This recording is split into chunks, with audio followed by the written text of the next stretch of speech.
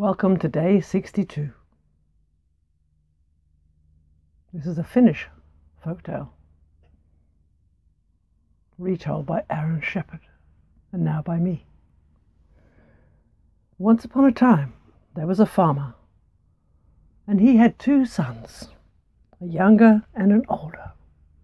And one day the father said to the boys, Boys, it's time for you to find a wife. And in our family, we've always done it one way, and we always will. Now, the older brother was a little rude, and he interrupted. He said, Yes, father, I know. We have to cut down a tree, and then the tree will fall, and it'll point towards where our sweetheart lives. That's right, said his father. That's what we do, and we always have and always will. Mika, the younger brother, didn't have a sweetheart, but the older brother did and he knew how to cut it. His sweetheart lived in the town. And so he carefully chopped in such a way that when the tree fell, it pointed exactly towards the house where his sweetheart lived. Now, Mika, on the other hand, also thought he would probably try and make his tree fall towards the town because there were more people there.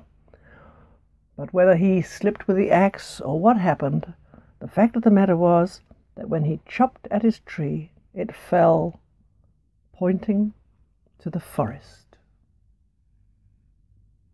And Mika's brother said, huh, What sort of wife will you find there? A fox or a wolf? Well, Mika didn't say anything, but he wondered the same question. And so they went, and Mika's older brother went towards his, where his sweetheart lived, and Mika set out into the forest. It was large, and many, many trees, but not a single house. We thought, where will I find my sweetheart here? There's no one living here. And after many hours, when he was quite tired, he came to a little house. He opened the door. He thought, maybe my sweetheart lives here. He opened the door, and there was nothing and no one. All that way for nothing, he said. But then he heard a little voice saying, Maybe not. And he turned, and there was a little mouse. Did you speak to me? said Mika. Indeed, I did. Why don't you tell me who you are and what you came here for? Well, Mika had never talked to a mouse before, but he was polite, and so he said, my name's Mika, and I came here looking for a sweetheart. Oh, I'll be your sweetheart, said the mouse. I'll be your sweetheart. But you're a mouse. I, I know, but I'm. I would love you and take care of you, and my feel my fur. It's very smooth and soft. And Mika felt it and petted the little mouse and thought how beautifully soft it was. And as he stroked her, she sang, Mika, sweetheart, will I be? What a fine young man is he!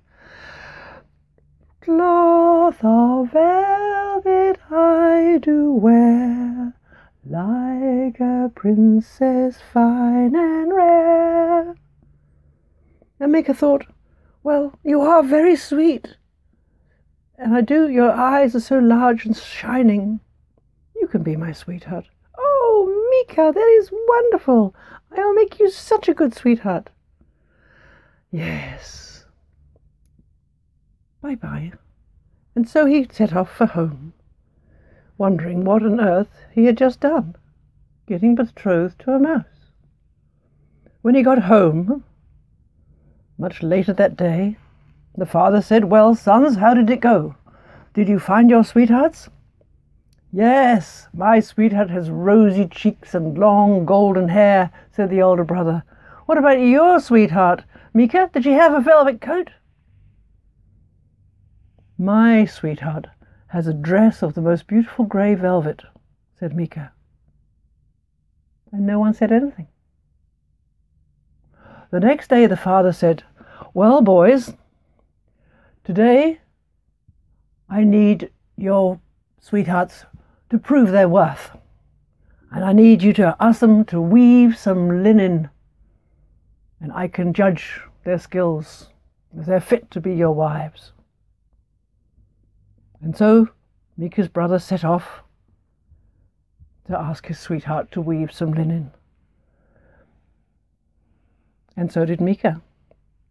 He walked again for many, many hours through the forest and once more found his way to the little house. And there was the mouse, waiting on her little table. Oh, she said, I just fell over. I was so surprised to see you. Is today our wedding day? Is today our wedding day? No, not yet. No. You look so glum, Mika. What's wrong? My father says I have to ask you to weave some cloth. But how can you do that? You're only a mouse.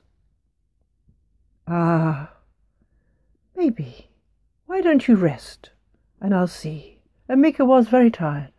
He had been walking a long time. So he lay down and rested. And while he rested, she sang a little song. Mika, sweetheart, will I be? What a fine young man is he!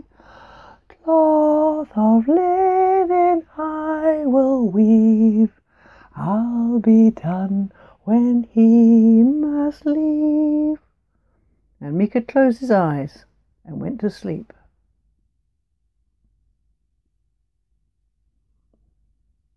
He's going to sleep on his tummy. There we go. And then, as soon as he was asleep, the little mouse took her little tiny sleigh bell that she had on the table and she rang it.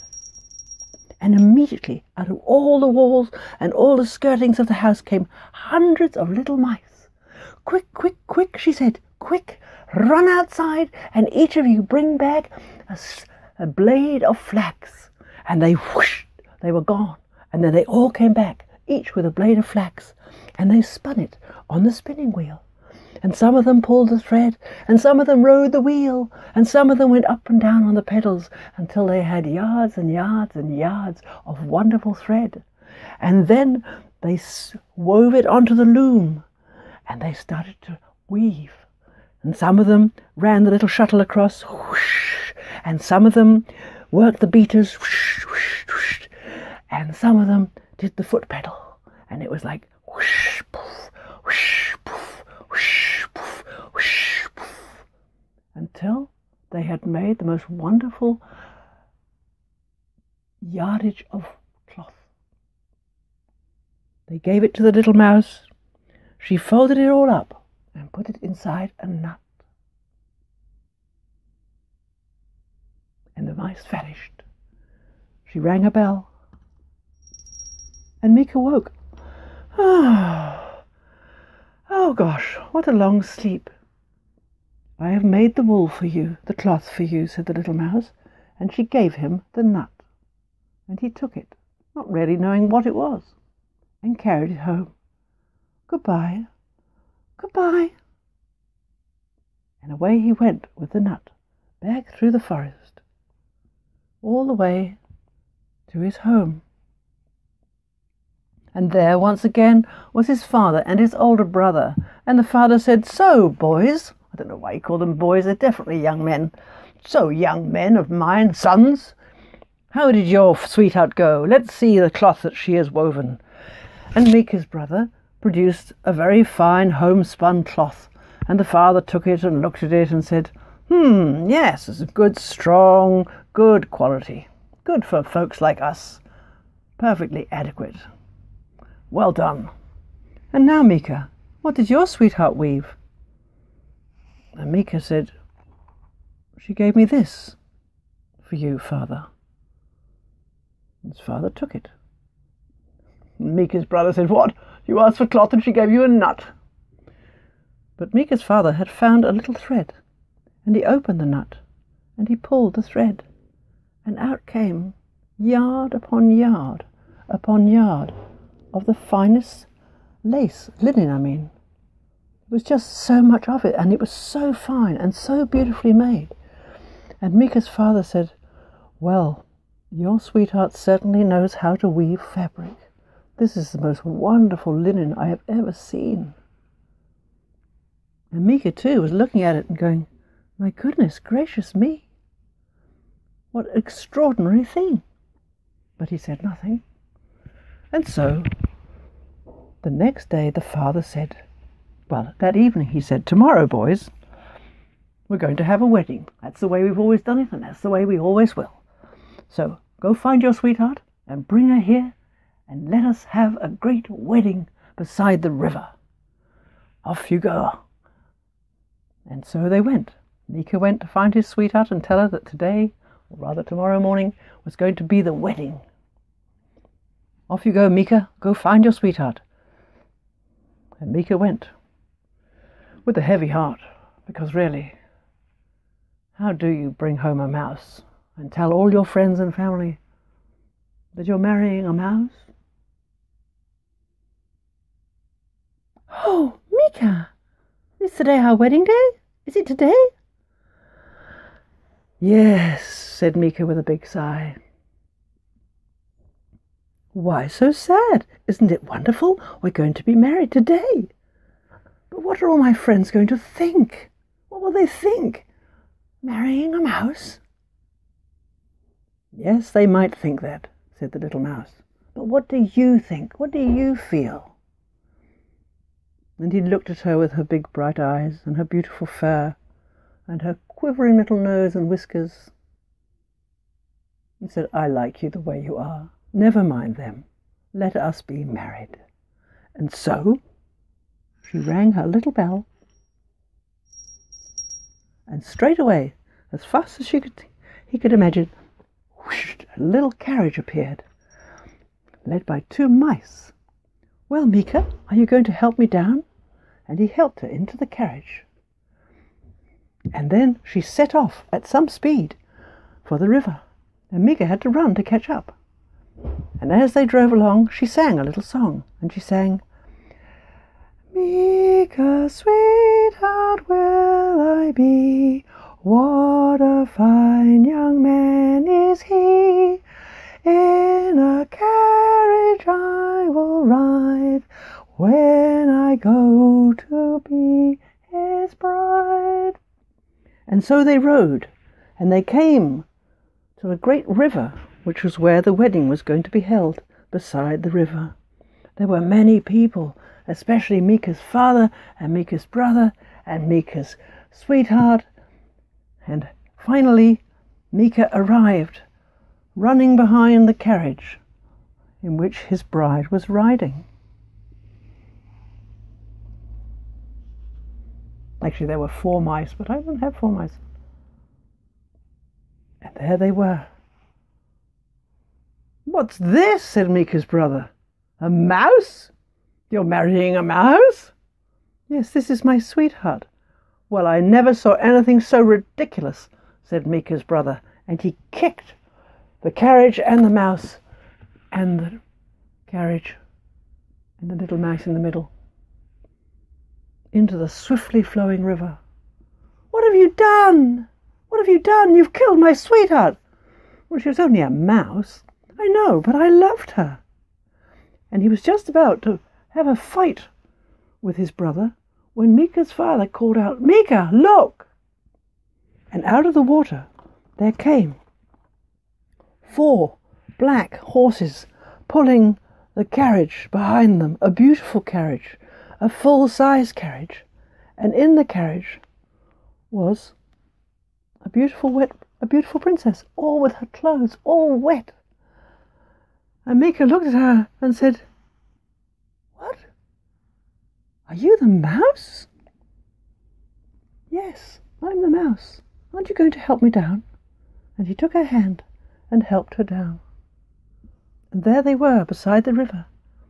And she said, I'm very wet, Mika. I might have to change. But how come you're not a mouse? Ah, a spell was cast on me, and I would only ever be transformed back into being a princess if one brother were to love me and be willing to marry me, and one brother wanted to kill me. And so it has happened. Let us be married. Find me some dry clothes, Mika, and let us be married. And they were married. The Mika's brother was a little bit jealous, but his sweetheart was pretty nice, so he really was okay. And Mika's father couldn't really take his eyes off his new daughter in law. They were very surprised. And the next day they went together back to the cottage, which turned out to no longer be a little cottage, but was a fine castle with many servants and many joyful events where people came and danced and sang with the princess and her sweetheart Mika, and they were very happy. And if they ever had children, you probably know how they would decide who they would marry. Yes, even if they had daughters, those daughters would cut down trees and see which way they would point. And they wouldn't waste the tree. Oh no, they made beautiful things. Their sons and daughters were very, very handy. And so that was the story of the little mouse, the little mouse princess. And maybe your little bell you would like to.